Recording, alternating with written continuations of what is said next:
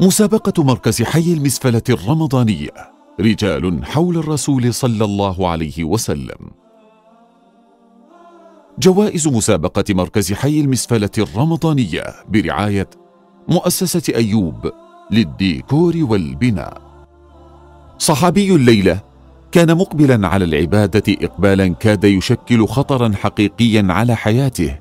الأمر الذي كان يشغل بال أبيه دائما فيشكوه إلى رسول الله صلى الله عليه وسلم كثيرا فأخذ الرسول بيده ووضعها في يد أبيه وقال له افعل ما أمرتك وأطع أباك فمن هو هذا الصحابي الجليل؟